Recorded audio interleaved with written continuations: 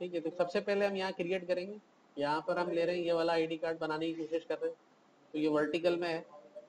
तो यहाँ पे क्लिक करके इसकी वेट को रखेंगे 2.2 3.6 300 की रेजोल्यूशन रखेंगे। क्रिएट कर देंगे इसको इसको अनलॉक करेंगे यहाँ से।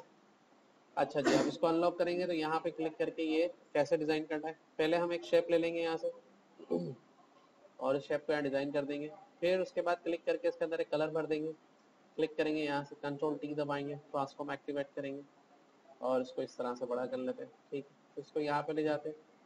अब ये चारों तरफ़ इसलिए बढ़ रहा है कि ये रिस्पेक्ट रेशो क्लिक हुआ हुआ है, इसको से क्लिक हटा देंगे। तो इस तरह से हम अपनी बढ़ा लेते हैं।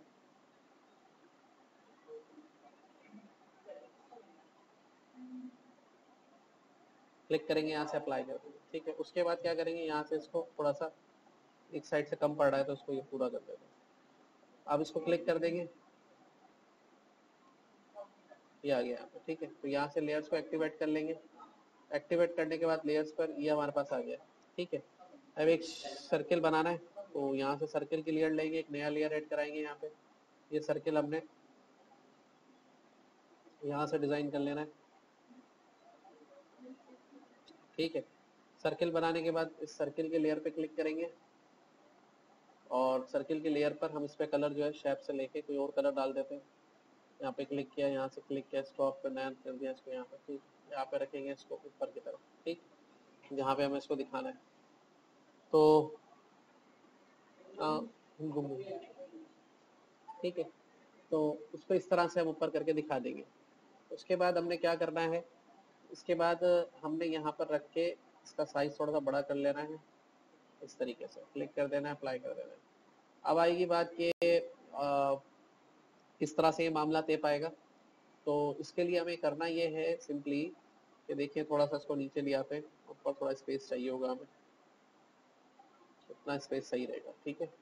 तो डिज़ाइन निकालने का तरीका ये है कि आप पहले क्या करेंगे, इसकी लेयर को यहाँ पे राइट बटन दबा के रेस्टराइज करेंगे। फिर सर्किल को भी राइट बटन दबा के रेस्टराइज करेंगे। फिर ये वाला टूल ले लें जिसका नाम है पॉलीगोनल लेसर टूल और ये टूल लेके आपने करना ये है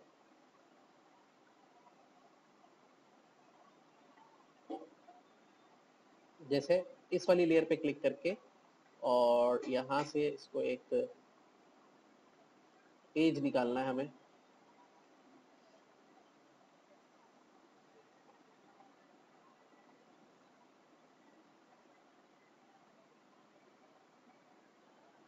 ये हमने एज ले लिया इसका, ठीक है? क्लिक किया और ये ले जाके हमने ऊपर इसके साथ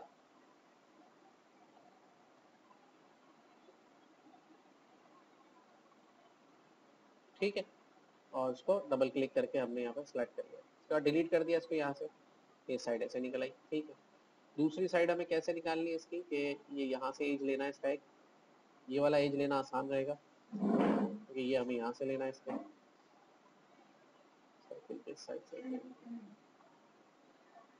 ठीक है तो ये एज हमने इस तरह से।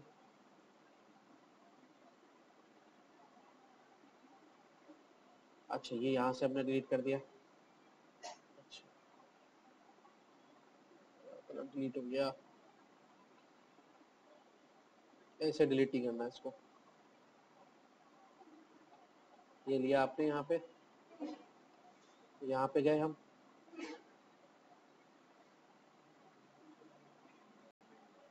ठीक है। और ये डिलीट कर दिया। तो ये देखें, ये आपका सर्कल का शेप निकला है। सही है? तो इस तरह से आप इस सर्कल का शेप जो इजीली निकाल सकते हैं। अब उसके बाद बाकी जो नीचे के मामला है, इसमें फ़ोटो लगाना है, क्या करना है?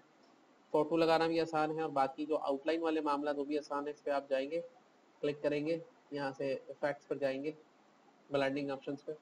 यहाँ से एक स्ट्रोक देंगे स्ट्रोक आप उसको 20 पॉइंट का दे दें आउटसाइड करके इसको, ठीक है कलर जो भी सेट करना है, ऐसे करके। इसको ओके कर दें। ओके करने के बाद यहाँ पे राइट बटन दबाएँ कॉपी लेयर स्टाइल ठीक है, और इसके ऊपर कर दें पेस्ट लेयर स्टाइल सही? तो ये बेसिक शेप इसका यहाँ से निकल आया। अच्छा उसके बाद क्या करेंगे?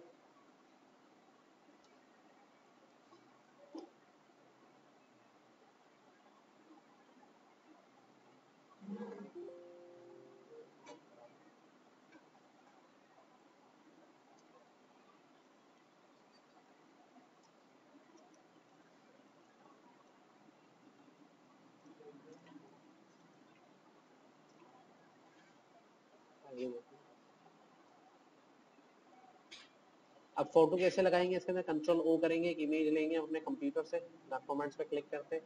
यहाँ से लेटेक्स पे चलेंगे और यहाँ पे क्लिक करके एक इमेज ले लेते हैं जो हमें इसके अंदर लगानी है। सपोज़ टू बी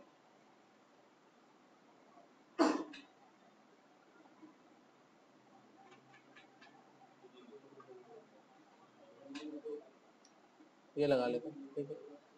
कंट्रोल ए करेंगे कंट्रोल सी करेंगे, यहाँ लाके कंट्रोल वी करेंगे, फिर इमेज को शेप के ऊपर ले जाएँगे, देखेंगे कौन सा हिस्सा इसका सर्किल का इस पर सेट बैठ रहा है तो यहाँ से इमेज पे क्लिक करके।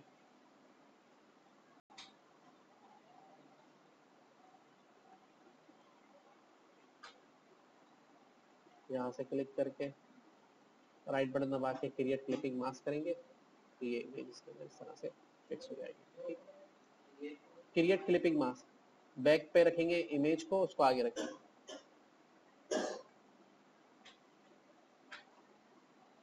ठीक है, ये काम हो गया इसके।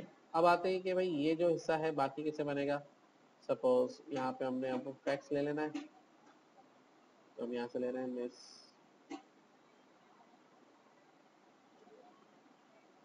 उसके लिए फॉन्ट देखने कौन सा चाहिए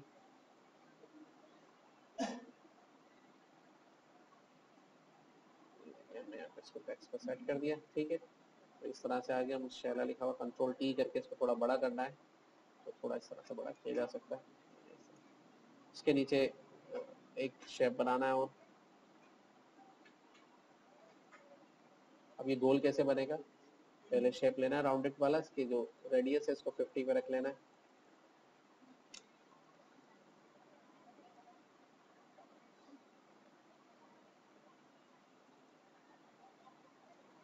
हंड्रेड पे रख ले। शेप बना के आपने इसमें कलर दे रहा है, ये ब्लू वाला।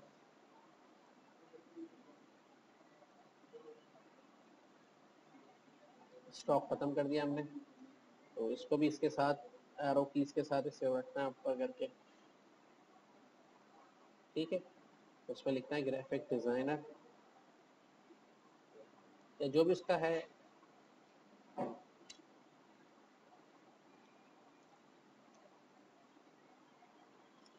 इसके फॉन्ट को नॉर्मल में करके लिखेंगे।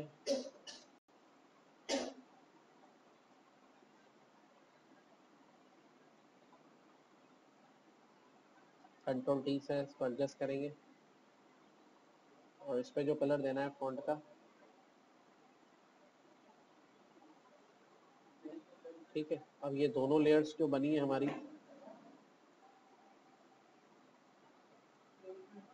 टूल लेना है।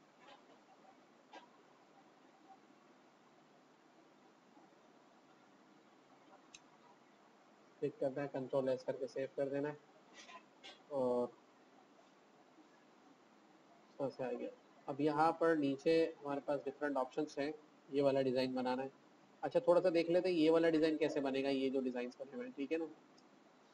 ये डिज़ाइन सिंपल है, बस उसको थोड़ा समझने की कोशिश करनी है आपने ये बन जाएँगे। तो हमने इसको एक ग्रुप में डाल दिया डिटेल्स को।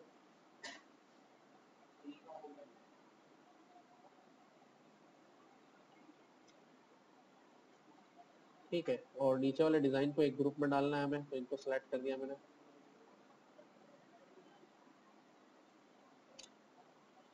अब इसके ऊपर वाला जो डिज़ाइन है, जो इसके ऊपर बन रहा है, उसको आप क्या करेंगे? ऐसे एक शेप लेना है।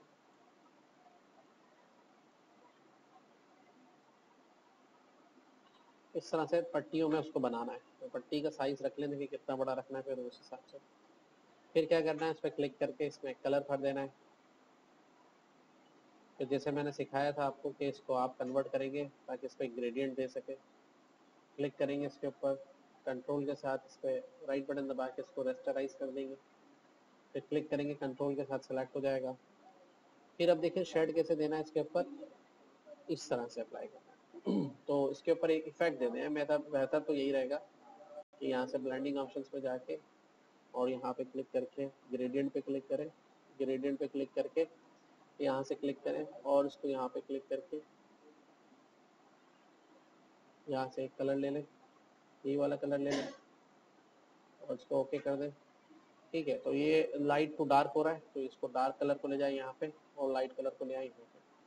ठीक है।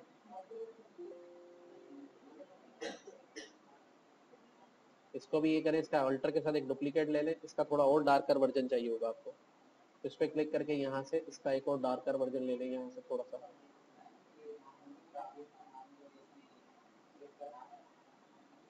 ठीक है, इसको ओके करेंगे सही? ओके कर दें यहाँ से। ओके करें यहाँ से। कंट्रोल डी करें डी सेलेक्ट करें। ठीक है, उसके बाद इसको 100 परसेंट पे देखें कितनी चौड़ी लग रही है पट्टी। ज़्यादा चौड़ी हो रही है पट्टी। तो फिर इसको कंट्रोल टी करके थोड़ा सा और पतला कर लें। अब इसको क्लिक करके अप्लाई करें। अब ये पट्टियाँ आपको दो तरह से बनानी है। एक बनानी है आपने व्हाइट ब्लू में और एक बनानी है इस तरह की। तो इसी की कंट्रोल जे ले लें डुप्लीकेट ठीक है? तो ये दो पट्टियाँ कहाँ लगनी है? इस तरह से लगनी है किस तरह से लगनी है? तो ये आएगी अब हमारी पट्टी यहाँ पर पकड़ के। ये आएगी इसकी इस साइड पर। इसमें वाइट शेड आगे रखेंगे तो कंट्रोल टी करेंगे रोटेट करेंगे इसको इस तरीके से। एंगल निकालेंगे किस तरह से परफेक्ट रोटेशन एंगल आ रहा है। कंट्रोल टी से। ये कंट्रोल टी देंगे हम यहाँ पे, और इसको इस तरह से रोटेट करेंगे। ठीक है रोटेट करके इसको कितना आगे रखना है? थोड़ा सा रोटेशन एंगल और निकालें, थोड़ा सा करके। और इसको यहाँ से शिफ्ट के साथ। ठीक है। इस तरह से रखा जाएगा ये। अब वो शेड तो उसका आगे पीछे हो गया अभी, करता हूँ उसको मैं। ठीक है तो यहाँ से क्लिक करेंगे इस वाली पट्टी को और ये वाला लेंगे, हम इसका एंगल दिखाएँगे कंट्रोल टी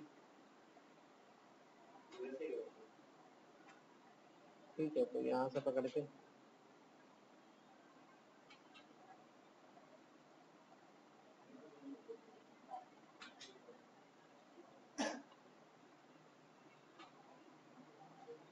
ठीक है, ये वाली तो सही बन गई है इसका थोड़ा सा इशू है। अब इसका इशू सॉल्व कैसे होगा, इसके इफ़ेक्ट ऑप्शंस में जाएँगे। और इसके ऊपर जो ग्रेडियंट हमने अप्लाई किया है ऑफ़िस में बैठे तो ग्रेडियंट जो अप्लाई किया हमने इसको, यहाँ से ग्रेडियंट को एंगल हमारा जो है वो 90 डिग्री का है। अगर आप इसको 180 डिग्री का एंगल देंगे और 90 में 360 डिग्री का एंगल देंगे 360 डिग्री के एंगल में ये इस तरह से ठीक है? सेम बार आपने बनानी है कंट्रोल जे करके डुप्लीकेट करके। और ये यहाँ पे बनानी है। अब इसमें एक यहाँ से आ रही है। ठीक है, इस तरह से। और एक जो है, वो आ रही है ऊपर से।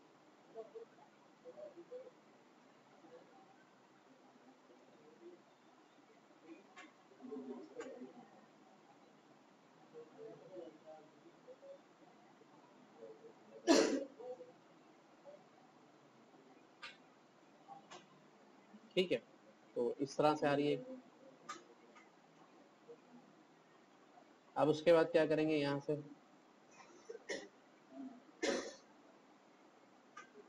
ग्रेडियंट पे आएँगे।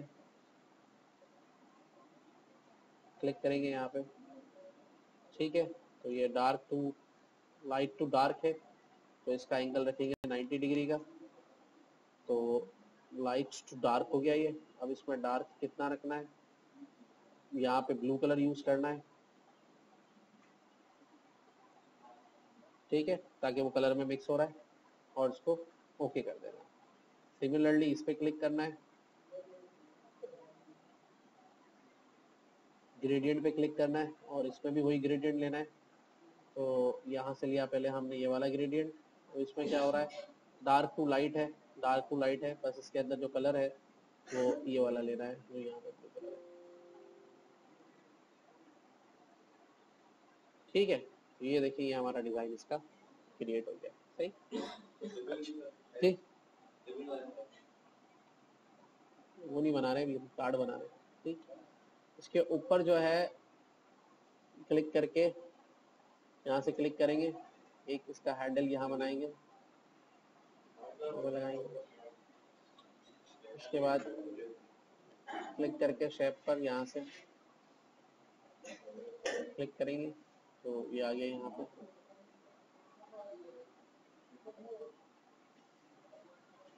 अप्लाई कर देंगे इस तरह से ठीक है। और फिर ये नीचे इसका बनाना है इसका, ठीक है कि अपना नाम लिख के बनाना है या स्कूल का नाम, इदारे का नाम, जो भी रखना है इसका। हाँ ये चीज़ भी टेक्स्ट लिखना है इसके ऊपर हमें।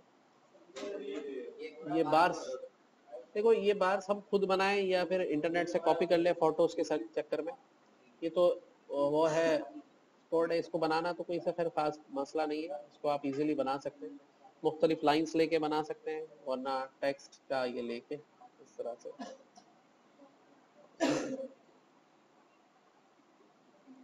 ठीक है। शिफ्ट के साथ जो इंटर के ऊपर वाला साइन है ना पाइप साइन उसको दबाएँगे। तो इस तरह से बन जाएँगे, इसको कलर कर देंगे सर ब्लैक ठीक है। अब इसमें कुछ को मोटी करना, कुछ को पतली करना तो जिसको मोटी करना है, उनको सेलेक्ट करके बोल्ड कर दो।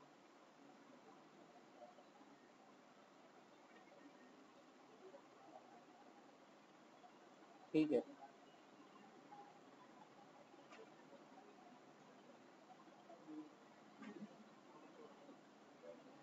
ये बन गया इसका सर ठीक है।